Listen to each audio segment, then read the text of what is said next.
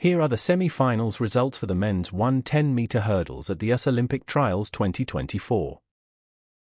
Semi-final 1. Wind 0.3. 1 Grant Holloway Adidas 12.96. 2 Cordell Tinch Nike 13.19. 3 Cameron Murray Unattached 13.27. For Louis Rollins Tracksmith 13.33. 5 Dylan Beard Unattached 13.38. 6 Jaden Smith Davidson College 13.41. 7 Bramir Vic U.S. Naval Academy 13.67. 8 Daniel Herald Texas State 13.76. 9 Paris Williams Unattached 13.97. Semi-finals 2. Wind, minus 0.2. 1 Freddie Crittenden. Tracksmith Phoenix TC Tracksmith. 13.05.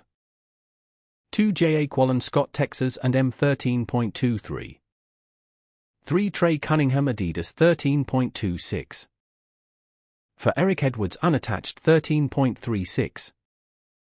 5 Darius Luff Nebraska 13.37. 6 Ahmed Young. Mississippi 13.58. 7 D.I. Nico Bates. Southern Cal 13.72. 8 Tyson Williams. Florida State 13.88. DNS Acoby Thorpe. Auburn. Semi-finals 3. Wind 1.1. 1 Daniel Roberts Nike 13.11. 2 Michael Dixon. More Sports Milligram 13.19.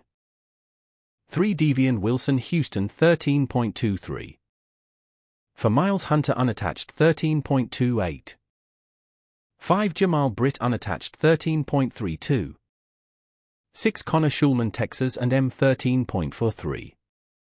7 Robert Dunning Adidas. 13.46. 8 Eli Morris Arkansas 13.54. 9 Darius Brown DePaul 13.78.